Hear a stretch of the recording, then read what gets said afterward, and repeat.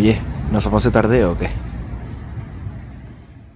Y el caso de Canales el año pasado, el Canales dijo algo así como que su expulsión estaba premeditada. Bueno, le sancionaron, le sancionaron, Le sancionaron y, después cumplió un partido de sanción y luego los otros tres no los acabó cumpliendo.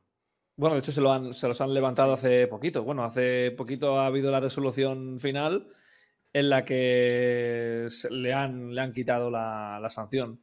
Bueno, pues también merecía ser sancionado, evidentemente. Yo, yo, yo, a lo mejor discrepo en cómo actuó Mateo. ¿eh? Mateo creo que tiene la capacidad, tanto Mateo como cualquier árbitro profesional, incluso no profesional, tiene la capacidad, como te decía antes, de, de saber gestionar estas cosas, ¿no? Uh -huh. La diferencia entre un árbitro territorial y un árbitro profesional es eso. Eh, no, no el, el, que pite mejor, sino el que sea capaz de gestionar todas estas emociones, ¿no? Y que creo que Mateo actuó mal, no debió expulsarlo. Para mí está mal expulsado aunque le dijera lo que le dijera, oye, no le puedes sacar a un jugador profesional dos amarillas en, en 10 segundos. Está, yo creo que está, eso estuvo mal hecho.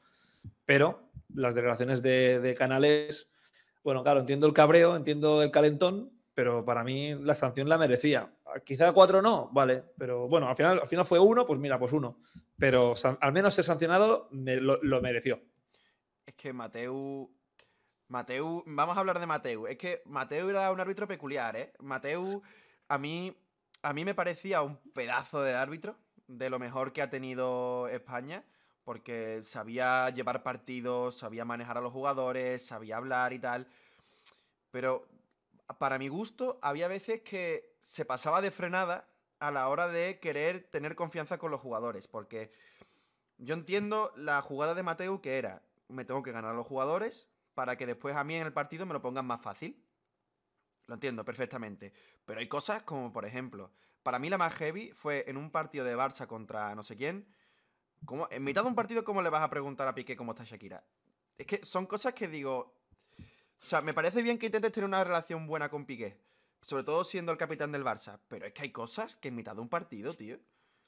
No pasa nada, hombre. Mira, eh, Mateu, eh, Mateu Laoz eh, ha marcado un antes y un después en el arbitraje, no solamente español, yo creo también europeo. Pero bueno, hablando de España, creo que Mateo Laoz ha marcado un antes y un después. ¿Por qué?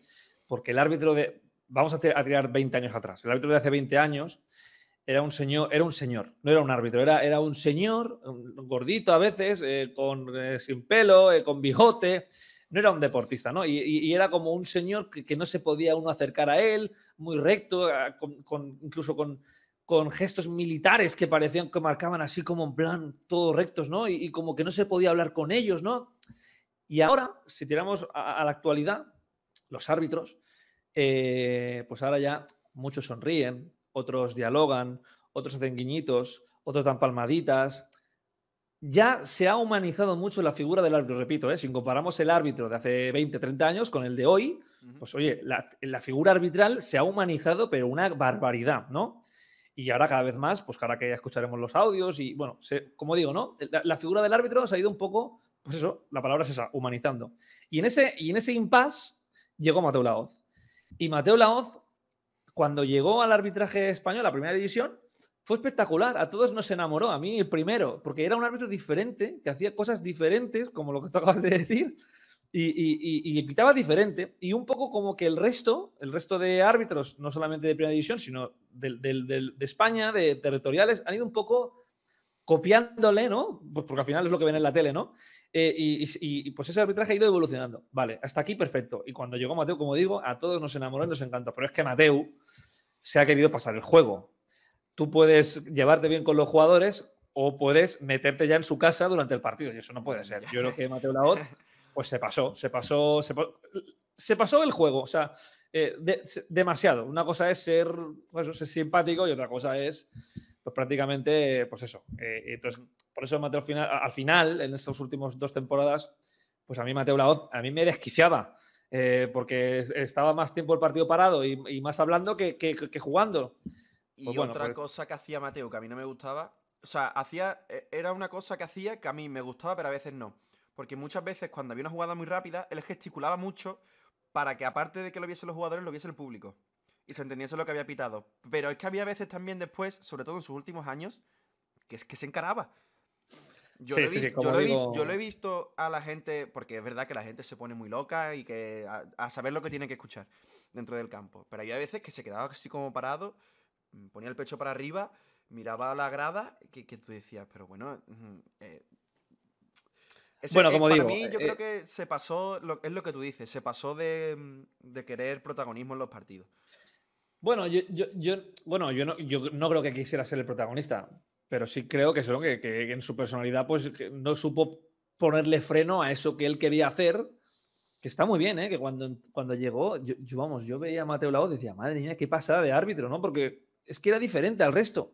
Ujú. Pero ya, claro, ya mm, se pasó. O sea, ya, ya hubo un momento en el que ya no supo ponerle freno a lo que él quería hacer y a mí personalmente no me gustaba. O sea, yo te voy a decir que yo estaba loco ya porque dejase de pitar porque es que a mí no me gustaba. O sea, a mí, Mateo Laoz, cuando, a mí me enamoró cuando llegó, pero luego ya al final, a mí me, es que a mí, a mí me, sacaba de quicio. Te lo digo de verdad. Yo, yo lo veía pitar y me sacaba de quicio, Mateu.